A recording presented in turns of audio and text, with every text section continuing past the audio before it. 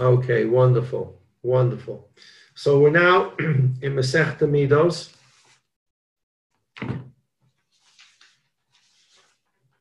And the, the, the Mishnah is doing this, Rabbi Lezer ben Yaakov, who's the author of Masech Midos, he's doing this in a very orderly way for us.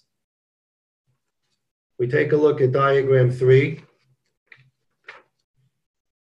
This white area would be considered the Har Habayis. You enter the Har Habayis on the east. We always use the east because it's the simplest way to understand this. There are gates on the other sides. But you entered the east, you came through Shar Shushan Habira, and now you're in this white area, Har Habayis. And then you continue walking, and you went through a thin gate called the Soreg. And then you went into a place called the Chayil. And then you entered now an eastern gate and you're in the Ezras Nashim. So we've learned about the Har Habayis. We learned about the thin wall, the Soreg, which is uh, the place where Goyim can't go past, and there were signs there, and the Greeks punctured 13 holes in there. We've learned about that. And then we learned about the Chayil, this area between this Soreg and the wall of the Beis HaMikdash, and that was 10 amos wide. We learned about the fact that in this Soreg, there were 12 steps, because the Ezras Noshim is six amas higher than the Har Habayis. So if you walked into the Har Habayis, you would continue walking. You would go into the Soreg, and then when you got to the Chayil, you would have to go up steps, 12 steps. Each step is a half an amos, so you're going up six amos, and then you would enter into the Ezras Noshim. You're now six amos, or 12, 13, 14 feet higher than what we'll call ground zero. Ground zero is the Har Habayis. You're now about 13, 14 feet above the Har Habayis in the Ezras Noshim. And that's what we're up to. The next subject is going to be the Ezras Noshim. You can already see in the Ezras Noshim in the diagram that there are four rooms, one room in each corner of the Ezras Noshim. And the subject here is going to be what is inside these four rooms. Of course, as you walk through the Ezras Noshim, if you don't need to use any of these four rooms, you will come to the 15 steps. Again, each step is a half an amma high. 15 steps means seven and a half amos. So you entered the Ezras Noshim. You were six amos higher than the Har Habayis. You went up another 15 steps and you went into Shar Nicanor and that lifted you up another seven and a half amos. So when you entered Shar Nicanor and you came into this area inside this doorway, which is Ezras Yisrael, it's thin. It's 11 amos wide, 135 amos long, depending how you want to look at it. It's 11 by 135. That's where a Yisrael can go. If he's standing in here, he is now 13 and a half amas above ground zero, the Har Habayis. So this white area, the rim of the page is Har Habayis. If you walk through this gate and you came into this area in the Beis Hamikdash itself, assuming you were permitted to do so, you are now 13 and a half amos, 29 feet or so, above the level of Har Habayis. Again, the Ezras Noshim is six amos higher than Har Habayis. You went up six steps, 12, I'm sorry, you went up 12 steps, and now you're going to go up an additional 15 steps. So you've walked to get into the Ezras Yisrael. If you came through the Ezras Noshim, you walked up 12 steps, then you would have walked up 15 steps, you walked up 27 steps again to Ezras Yisrael. 27 steps, and each step is half an amma.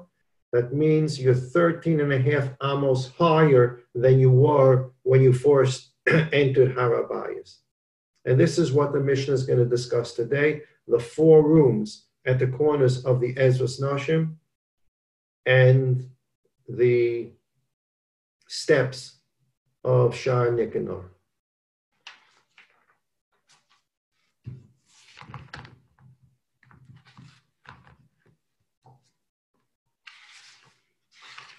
So we're in Midos Perik Bays Mishnah Hay. For our numbering system, it's page 36.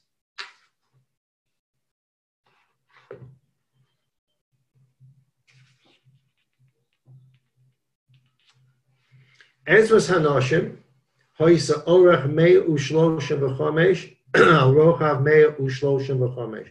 The Ezras Hanoshim was a square, 135 amos by 135 amos.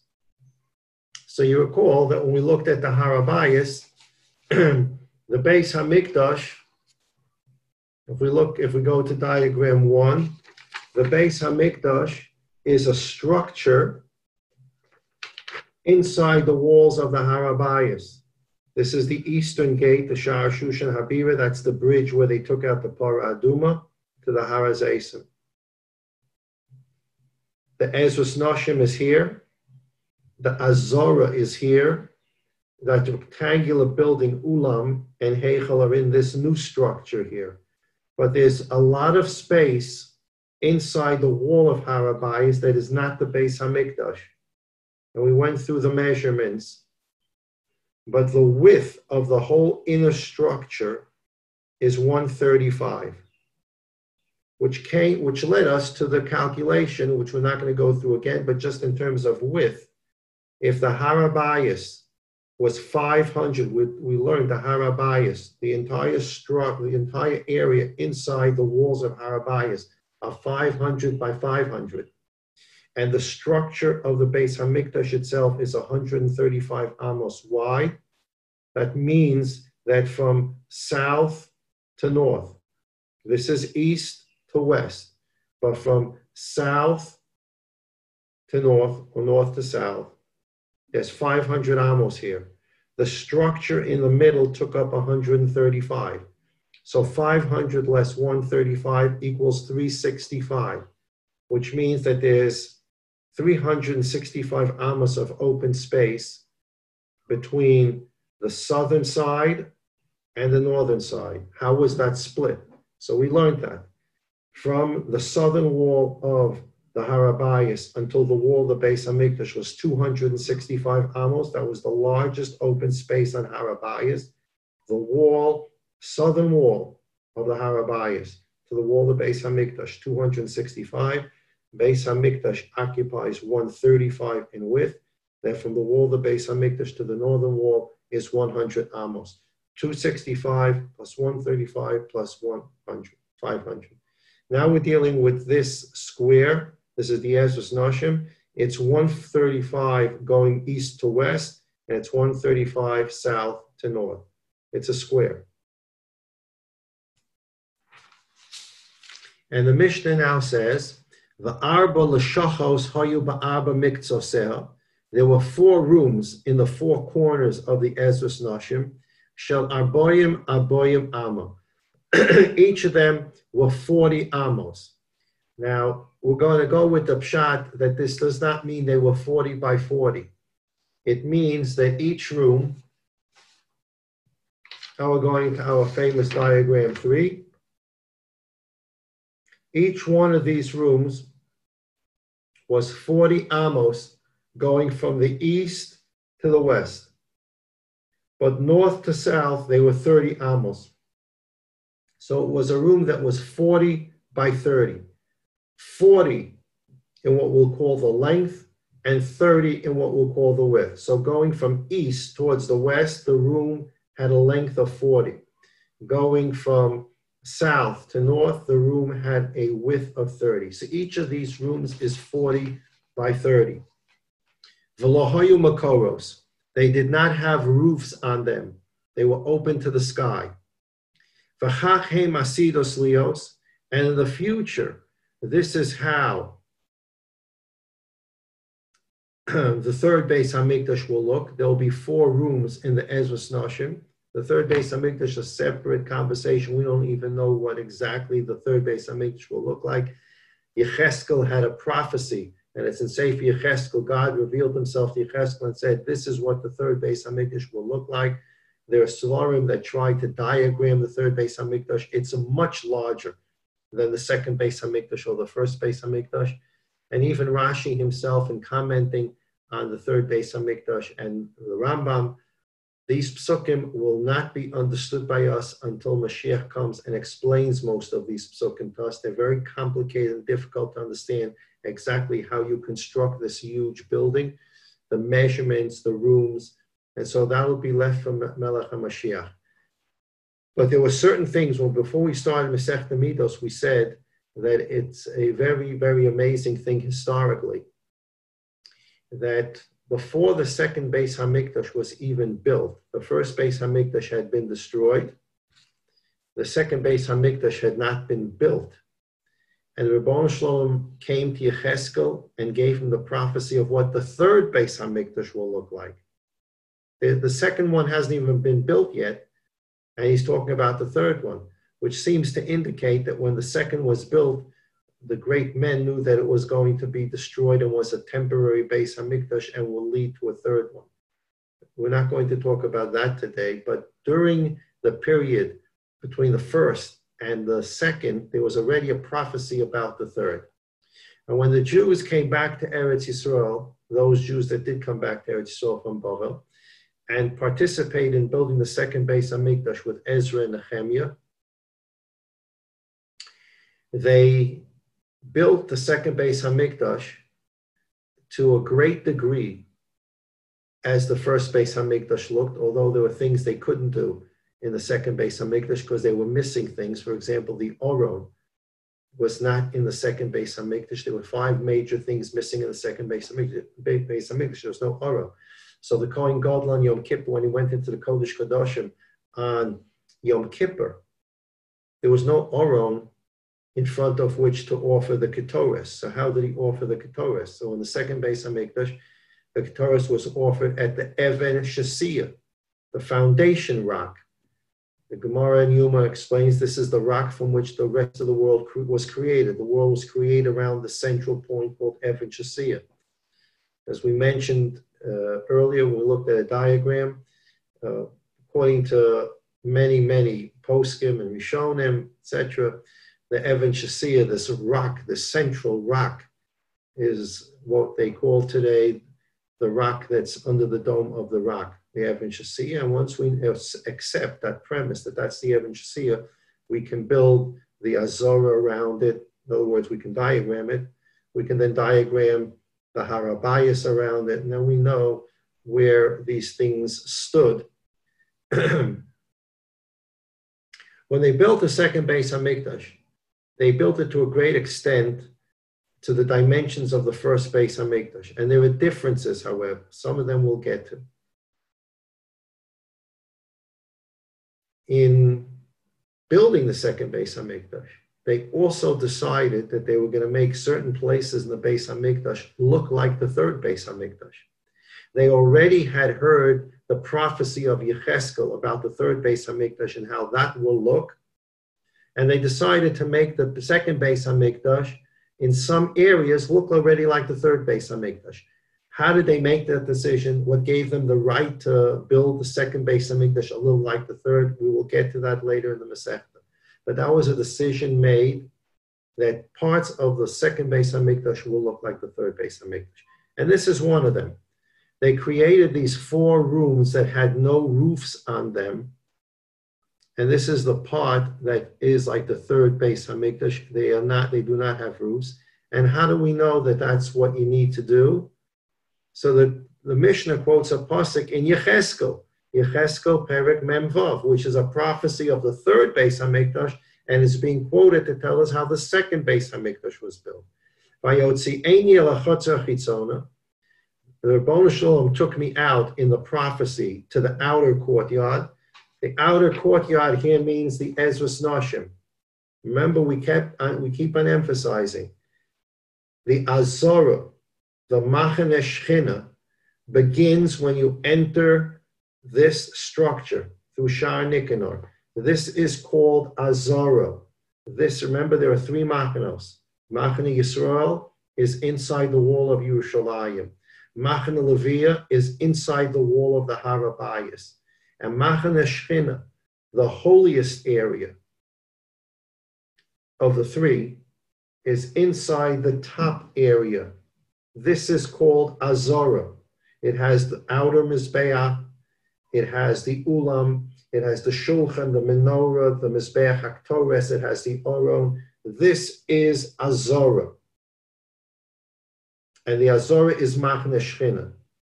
If this Ezras Noshim were not here, what would this area be? Har Habayis. And it would have the Kedusha of Har Habayis, which means it'll be Machne Leviyah. And if it's Machne Leviyah, we already learned that a person who's been contaminated by a dead body can actually walk on the Har Habayis. We've discussed that at length. A person that's Tome Mace can walk on the Har Habayis. Uh, there's no discussion, there's no debate about that. We saw that in the Rambam. It's not a Rambam halacha that someone argues with. It comes from a Gemara. and it comes from Moshe Rabbeinu. Because Moshe Rabbeinu lived in Machna Leviyah with the Levium in the desert and he carried the bones of Yosef with him wherever he went. He took them out of Mitzrayim. So Moshe Rabbeinu had Yosef's bones with him in Machna Leviyah. So therefore, anything that's Machna Leviyah, a person that came into contact with the dead body, and even the dead body itself, can be on the Har Habayis. So if this Ezras Noshim were not built, then we're talking about Har Habayis, and a dead body would be able to go and walk in this, a dead man will be able to be brought into this area, or someone that's Tomei Mace will be able to walk in this area. However, once they built the Ezras Noshim here, they gave it they gave it additional kedusha. It does not have the kedusha of the Azora. They gave it a middle level kedusha, and this is rabbinic kedusha, because biblical kedusha has the Ezras Noshim as Machna Levia, and a dead, per, a dead body can be brought in here. But once they built the Ezras Noshim here, they made it holier than Har Habayis, but not as holy as Azora. And the level of holiness that they gave this is that not only can a person who's a Tomei Mace, a person that's Tomei Mace cannot come into the Ezras Noshim, he can't even go into the Chel, but even a Tavul Yom, a person who went to mikveh, he can't go in here until, we talked about this, I believe, last week, until sunset of the day or nightfall of the day that he went to the mikveh. So if a person came into contact with a dead rat, he was a Tomei Sheretz, he could not, he was now Tomei, he immediately went to the mikveh the same day. He couldn't come in to the Ezras Noshim because he's called a Tavul Yom. He immersed himself that day but he's not tahor until nightfall of that of that evening. So a tavul yom, he's tome but went to the mikvah but didn't uh, pass through. A nightfall cannot enter the Ezras Nashim. So this was given a rabbinic kedusha above the Machna but not as much as Azora. That's why it's so important to remember this is Azora, this is not Azora. This Azora is Machna Shchina. This is where if a, a person that's tummy enters, Chas v'sholom, he's chayav chorus, he's chayav the heavenly death. This is the place we're talking about. If you enter the mikdash, a per, betuma, a person, God forbid, is chayav chorus. It is in this area which is Machna Shchina. That is not true for this area. This is Machane Levia. But once they built the Ezras Noshim on it, rabbinically, they gave it more Kedusha than Machna Levia Har Habayis, but not as much Kedusha, obviously, as the Azora. So they decided to build this area and put four rooms in the corners and make the rooms look like the third Beis Hamikdash without ceiling, without a roof. So the Pasuk in Yecheskel says, Vaytzioni, Vayotzieni alechotzer achitzona, God took Yecheskel out to the outer courtyard. This is the outer courtyard. This is the Machna Shchina, and God took him out to the courtyard. Vayavireni el Abbas and God took me to the four corners of this courtyard. There was a chamber in each corner of this courtyard. Ba'aba miktzor sachatzer in the four corners of the courtyard, chatzeros mikuturos. And these rooms, these chambers were keturos. What does keturos mean? The Mishnah says, "Ve'ein keturos ela she'ena makoros." The word keturos means that it has no roof. Why does the word keturos means that something doesn't have a roof? Because when we talk about smoke in Lashon Kodesh, we talk about a kitar, kitar ha'asham, vayal ashano ke'eshen hakishon. We talk about a kitar. The ketores makes a kitar. It makes smoke rise. If you have a roof on top of a room, the smoke cannot rise to heaven. So we call a room in Lashon Kodesh that doesn't have a roof. It doesn't mean you're cooking in there for right now. It just means that because there's no roof, smoke can rise to heaven. So when we talk about a room that's couture, it's a room that doesn't have a roof because smoke would be able to rise. So Yecheskel was brought back, Kadosh Baruch into the outer courtyard to look at the third Beis Hamikdash. The Ezra Nashim, the outer courtyard, had four rooms, one in each corner, and these rooms were keturos. They did not have roofs. The Mishnah asked, what did you do in these four rooms? Deromus Mizrachis, the southeastern room, if you go back to diagram one, I've now handwritten in, it's not handwritten on your diagram, but now you can look at diagram one. Deromus Mizrachis, he haisa lishkas hanazirim. If you go right here, Deromus Mizrachis, you're on the east. You just entered the east Shushan Habira. You came to the Har Habayis. You made a right turn and you now, well, let's forget about the turn right now because we learned about turns. You're right here, you're southeast, and this chamber is called Lishkas Hanazirim. It's the room when a Nazir, when he came after he finished his Naziris, and the Naziris, a Stam Naziris was 30 days, and on the 30th, the 31st day he came, he finished his Naziris, he would have to bring three karbonas, a korban chatas, a korban asham, and a korban ola, along with a certain 20 chalos that he had to bring as an offering in the Beis Hamikdash. the shlomim that he brought, chatas ola and shlomim, the shlomim had an interesting rule. Besides the Kohen getting certain parts of every Korban shlomim, the Kohen got an additional part. He got the zroa of the animal. And that zroa had to be cooked inside the Beis Hamikdash, in a Mokum Kadosh. And this is the room where the Nazir would go to, and there would be a fire in there, or a stove. And the meat that the Kohen was going to eat. He would have to cook in this room, and that's different than all other kachim kalim.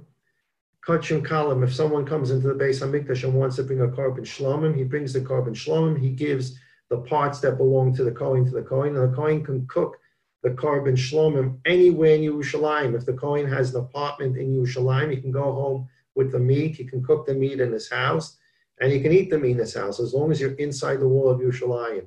The Shalmei Nazir, the korban shlomim that a Nazir brought was different for reasons we're not going to go into.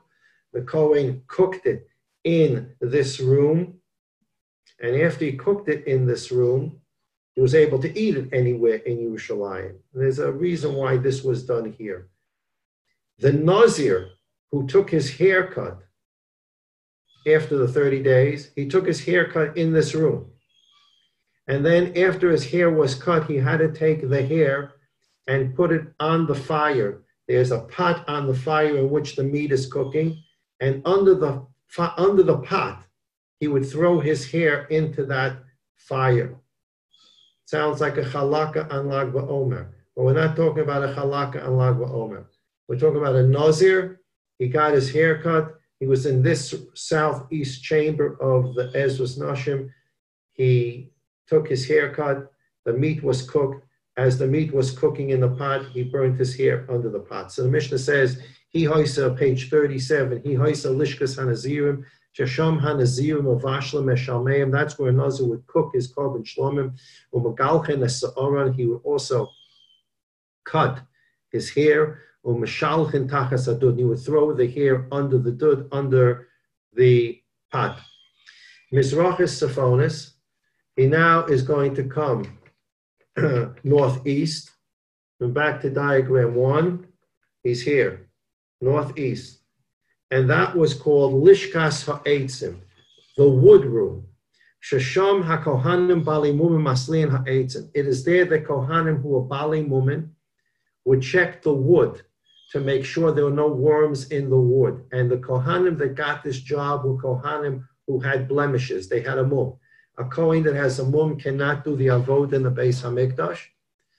But this is not a true avoda, and they wanted to give the Bali Mumin the privilege of doing something in the Beis Hamikdash that was tzorach. It was a necessity for the korban. They couldn't do avoda, so they have this room where Kohanim who are Bali Mumin can go in there, and they were taught how to inspect the wood. It's the wood that would go on the outer Mizbeach, the large Mizbeach upon which they burnt the Karbonos. That's diagram number three. That's this large Mizbeach. There's a small Mizbeach inside the Heichel, but that's only for Ketores, no animals. The animal sacrifices were brought on the large Mizbeach. And on that large Mizbeach, you had to put wood that had no worms in it. So in, it was in this room that Kohanim who were Bali Mumin would check for the wood. A wood that they found a worm in posel me'al gabi mizbeach. It was posel for the mizbeach. Tzfonis marovis, and now we go to north, west, the third chamber. Tzfonis marovis he hoisa lishkas hamitzoroyim. That was the room that a person that had a tsaras used. In that room, there was a mikveh. A person that Lo had a neged tsaras, he had to go to the mikveh three times. First of all, he was sent out, he was sent out of the three Jewish camps. Chas v'sholom, if somebody had a tsaras, he couldn't be inside the city of Yerushalayim. Remember, the wall of Yerushalayim entering the wall of Yerushalayim meant you entered Machane Yisrael until you get to Har Habayis. That wall, past that wall is Machane Leviyah. When you enter the Azor, you're Machane Shechina, a Metzora cannot be inside Yerushalayim. And in the days of the Machane in the desert, a could not be within the Machane Yisrael, which were the 12 flags around the camp. He had to be sent all the way out of the camps. Now, this Mitzorah, the Kohen came and checked on him. The Kohen found at some point that the Neged Saras is subsiding, it's going away. The Kohen went through a process, Chutz Lamachane, outside the three camps, that's with the two birds. One bird was shechted by, um, by the Kohen, one bird was sent free. That whole process, Chutz Lamachane, and on that day, the Mitzorah went to mikveh one. He then was able to go home, quote unquote, complicate halachas Mitzorah.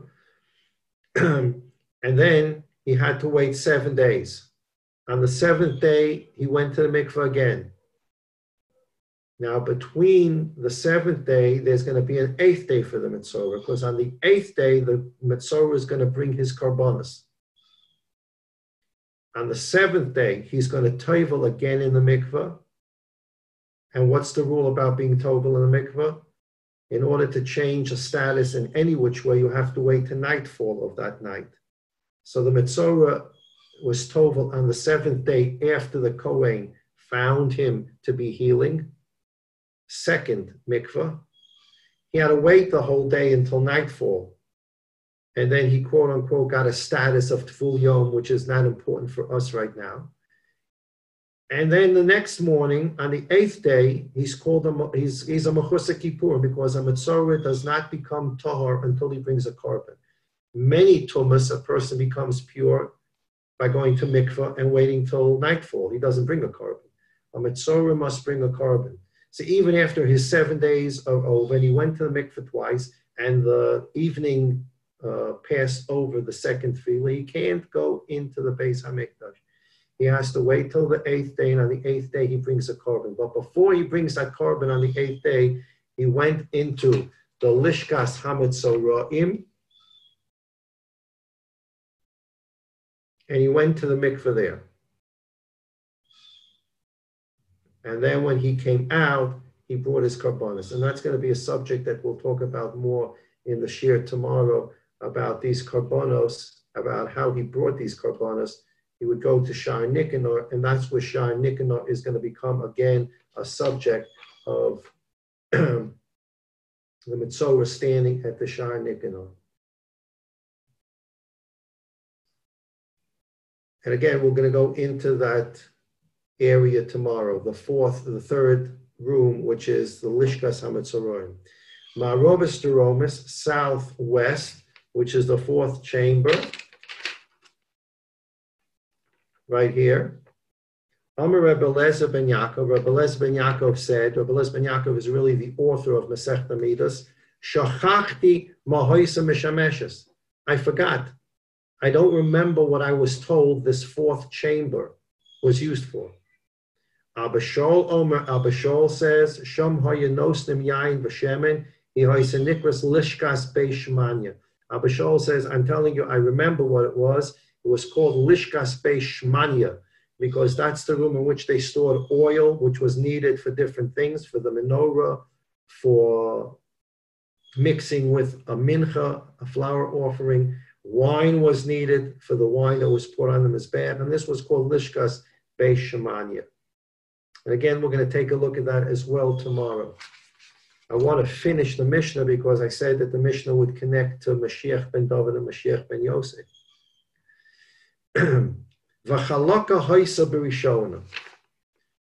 Originally, if we go back to diagram one, I'm sorry, diagram three, right? Our famous diagram of the whole Beis Hamikdash. This is the Ezras Noshim. So the Mishnah says originally the walls of the Ezras Noshim, the inside walls, were flat. They were just walls. I'm reading the Mishnah according to Rashi's Pirish, not according to the Rambam's Pirish. And then they built into the walls the southern, northern, and eastern wall, not the western wall of the Ezras Noshim. The western wall, the Ezras Noshim, has the 15 steps of Nicanor on it. So we're talking about three walls. One, two, three. On these three walls, they put like pegs into the wall or L's, brackets, permanently inserted brackets on three walls of the Ezras Noshim so when Sukkot came and they had to have the Simchas Beis Hashoeva, they would then take planks and build a balcony. And then after Sukkot was over, they would take the planks off. The brackets would remain in the wall. And every year, Sukkot, they would put those planks back up on the brackets and they would have a balcony for women. They put brackets onto the walls of the Ezras Nashim again on three sides. Roas milmalan, so the women can be upstairs on the balcony and look down during the Simchas Beis HaShoeva. And men are down below in the Ezras Nashim. It's kind of funny, the men are in the Ezras Nashim, but that's what it's called. The room is called Ezras Nashim, and the women are on the balconies on the, in the Ezras Nashim in order that there not be a mix between men and women. So the women are on the balcony and the men are below. And this, again, we'll Belina to discuss tomorrow. Uh, this is our source for having a machitza in shul. The source for men and women not being mixed together is in this Beis Hamikdash, where they put the women on the balcony. V'chamesh esrei milas oilos mitoichel ezes Yisrael. And in the Ezras Noshim, going back to diagram three, in the Ezras Noshim, there are 15 steps. Olos mitochel Ez Yisrael, that go from the Ezras Noshim into the Ezras Yisrael. Keneged Chamesh Esrei Mailaship Tehillim. And these 15 steps represent or are Keneged, the 15 Shir Hamalos that David said in, in Tehillim. Shalem Halavim Omrim Bashir.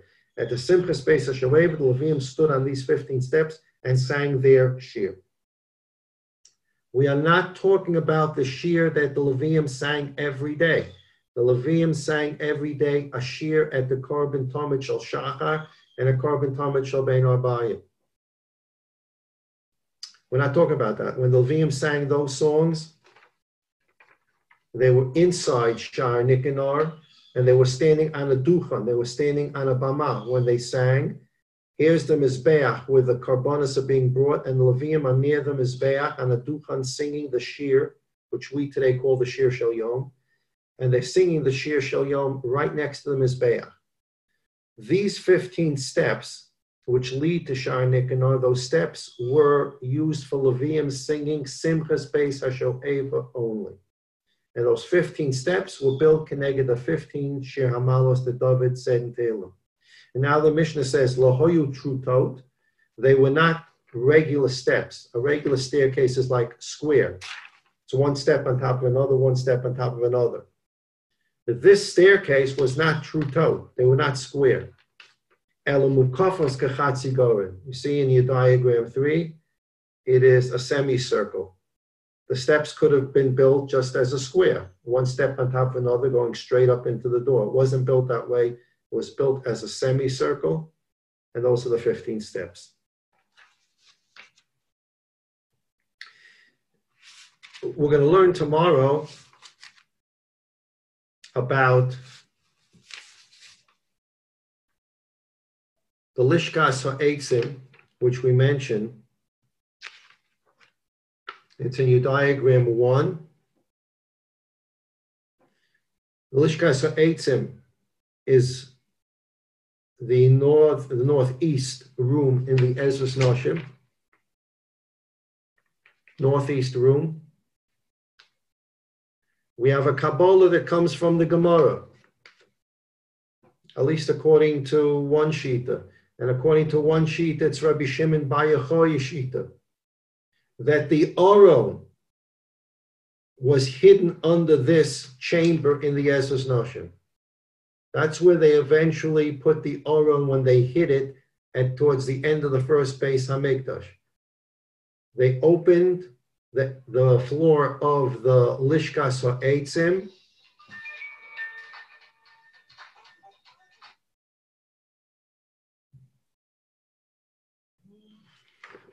They opened the floor of the Lishkas Ha'etzim and they put the Oron beneath there. And according to those Shitas, that's where the Aron is. There are other Shitas that say that the Babylonians, when they invaded and came into the Beis Hamikdash, they took the Aron with them. There are other Shitas in the Gemara that hold that at the end of the first Beis Hamikdash, knowing that the Beis Hamikdash was going to be invaded, they took the Aron and hid it under that room, the Lishkas Ha'etzim. We're going to talk more about this Lishkas Ha'etzim Bli Neder tomorrow. We'll come back to a lot of points on this Mishnah tomorrow. I wanted to talk about this separation between men and women and where we get this from. Obviously, we get it from the Beis Hamikdash, where there was a balcony put on the Ezras Nashim so that the women can attend the Simchas Beis Hashoeva. So there was a separation between men and women. There's a little problem with creating this balcony system, and the Gemara talks about it in Sukkah.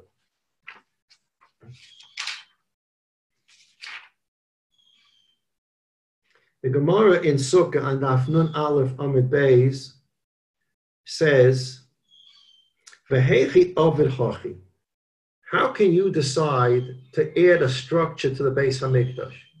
The Beis Hamikdash were, was built according to dimensions that were given to David Hamelech, that he passed to Shlomo, and Shlomo built it according to these divine instructions. You can't walk into the Beis Hamikdash and say, why don't we build another room?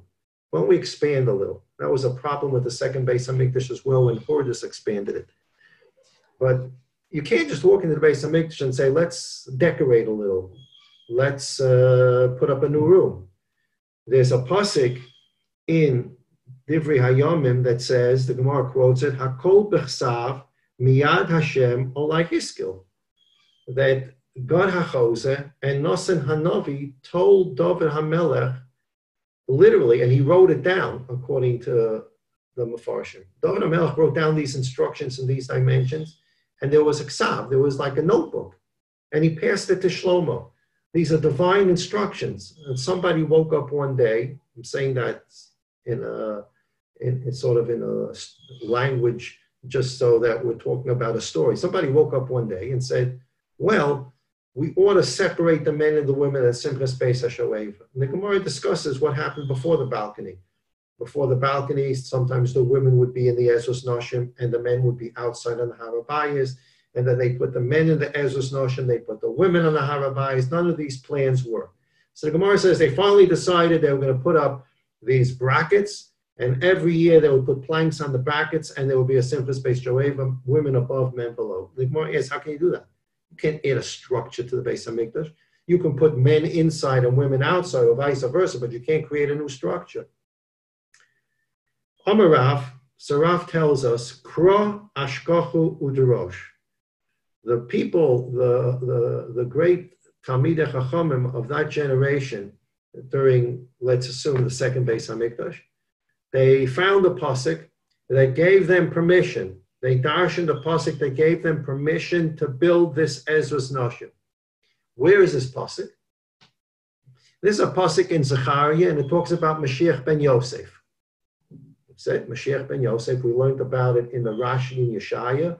It says that Ephraim will embrace Yehuda, and Yehuda will embrace Ephraim. They won't be jealous of each other. Rashi says that's Mashiach ben Yosef and Mashiach ben David, who will be able to join together and cooperate to bring the Geula Shlema for the Jewish people and for the whole world.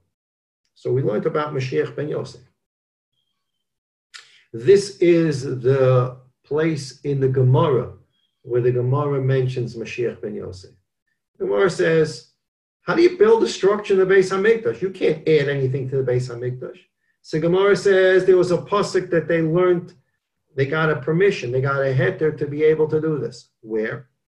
in Zechariah chapter 12, there's a discussion there. There's a Zechariah prophesizes, it's not a discussion. Zechariah prophesizes about a funeral, an unbelievable funeral that will take place in the future.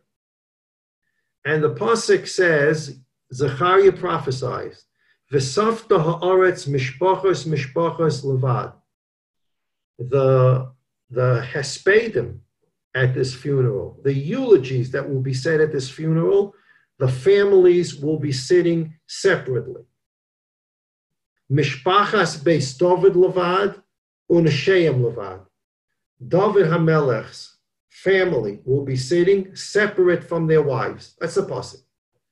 This hesped, this, this eulogy that will be said over some great person, and this eulogy will take place in the city of Yerushalayim. It'll be massive, massive funeral. And at this massive funeral, there'll be eulogies. And David HaMelech's family and David HaMelech, the wives of that family, will have to sit separately. Okay, that's what the Pasuk says. So now the Gemara says, Amru valodvarim kal So the the the, the Chacham that lived in the time of the second Beis Hamikdash, and they saw that there was beginning to become men and women were mingling at the same space Joeva. They said, we have to do something about this. They said, what we're going to do is we're going to build a balcony. But we can't build a balcony. You're not allowed to add to the Beis HaMikdash. They found this pasuk and they said, this pasuk tells us what? That men and women must be separate when? At a funeral. So the Gemara says, Umal asid lava she'oskim behesped ve'ein yetzah harasholet behem amr Torah and ashel levad and levad Imagine, let's make a Kalvachomer.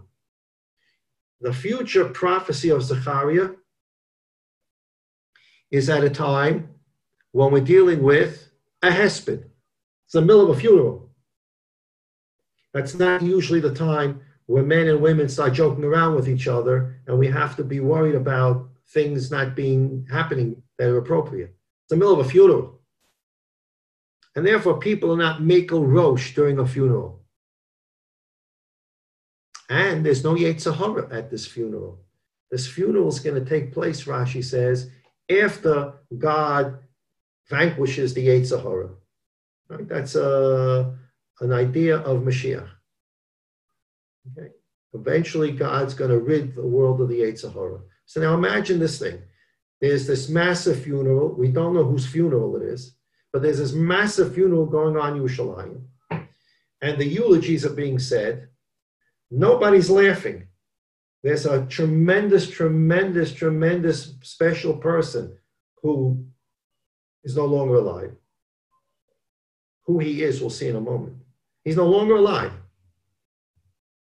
And the eulogies are being said. We're in the middle of a funeral, nobody's fooling around. There's no Yetzer Hara anymore because this is a world of post Yetzer Hara. And the Pasuk still says, Zechariah still prophesizes that at this funeral, men and women will sit separate. There's no Yetzer Hara, and we're in the middle of a funeral, and men and women still have to sit separate. Kal v'chomer, certainly, achshav shasukim b'simcha v'yetzahara sholet behem alachas kama v'kam. Certainly, before Mashiach comes, and in the Simchas Beis HaShoev, it's not uh, it's not a funeral. It's in the middle of a joyous event. Everybody's dancing, everybody's singing, everybody's in a good, good mood.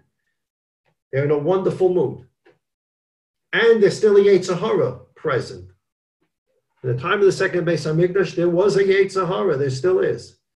So if when there's no Yetzer Hara, and you know, people are at a funeral, you need to keep men and, women, men and women separately, as Zechariah prophesies. Certainly, when the Beis Hamikdash stood and there was a Yetzer Hara, and it's not a funeral, it's a happy event, we certainly have to keep men and women apart. And from this pasuk, they learned out that you can keep, you can build these these uh, brackets onto the wall, the Ezras Noshim, and then put balcony up for the Simchas Beis Hashoeva. And this becomes our reference point, our source for our shuls to have separation between men and women. It comes from the Beis Hamikdash and it's learned out from Zechariah's prophecy about the future. Rabbi Yoshe Ber Soloveitchik, I, I, I, read at one time, he was talking about the original breakoff of the of the Christians from the Jewish people, and originally it was difficult to tell who was Jewish and who was not. The original generation were basically Jews who just went off, but they were they looked like Jews. They had beards, they had payas, they dressed like Jews. They just believed in some nonsense. Rabbi Yoshe Ber Soloveitchik had some historical references that one of the ways, if you you need a person needed to daven, so you walked into a shul. How do you know whether that shul is a shul or it's a Jews for Jesus shul? How did you know in those days what what what uh, building you walked into? Everybody had beards and payas, and people were davening. They're probably using the same words. How did you know when you walked in there, am I in a Jewish place or am I in a Jew for Jesus place? Rabbi Yoshua Soloveitchik says one of the points of reference was to see if there was a separation between men and women. If there was a balcony or machitza, as we've come to know it, then you knew you were in a Jewish house of worship. If there was no balcony or machitza, then you knew you were in a place of a Jew, a, you know, Jews for Jesus kind of place, because they gave up on the separation between men and women. That was one of the original things that differentiated between the Jew who was Shemet Teva Mitzvahs and the Jew who went off and became a Jew for Jesus, Rahman al was one of the original reference points. So this is a very, very, very sensitive point for Klal Yisrael. and unfortunately, those that went off, the Reform, the Conservative, etc., they got rid of the Mechitza, the mechitza is something that comes from Beis Hamikdash. The mechitza is something that comes from a prophecy of Zechariah, and it's, that's why it became, it, and it remains a very touchy subject. And the height of the mechitza, and what should the mechitza be made out of? And I will discuss a bit tomorrow about can women sit on a balcony where men can still see them? There are shuls that have balconies, but men can see the women, the women can see the men or you have shuls that have elevated women's sections. They're 10, 15 feet off the ground with a little gate, and the men can still see the women, the women can still see the men. And there's some achlokis poskim whether that kind of mechitza is acceptable. But Moshe Feinstein wrote shuvas about it. The Satmar Rav appointed of Moshe Feinstein. They discussed this subject, but the source of the subject is Beis Hamikdash. And how did they know they can do this in the Beis Hamikdash from the prophecy of Zechariah? Now, who is this person that died that's having this massive funeral and all these eulogies? And the, the, the scions of the Davidic dynasty are actually sitting at this funeral. And it's a funeral in Yerushalayim. Ha'esped the Mayavidate, the Gemara says. What is this hesped about? Pligi bar Dosav Rabbanan. Chad Omer al Mashiach ben Yosef shenerag, Omer al shenerag. One sheet is that this funeral is about Mashiach ben Yosef, who will be killed in a war.